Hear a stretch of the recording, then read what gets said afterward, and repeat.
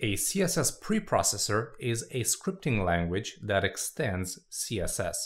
Basically, you write CSS in a slightly different form, then you use specific apps and compile that form into traditional CSS. So you would write this, then compile it and get standard CSS code. Preprocessors allow you to use variables, functions, and nested rules. And you can even do math operations but the biggest advantage is that it saves you time. And because variables and functions are reusable, your code will be easier to maintain and more organized. Also, you can use code shared by other people. For example, a function that adds a gradient. Now, there are lots of preprocessors out there. The most popular ones are Sass, Less, and Stylus. As for compiling apps, there's a list linked down below.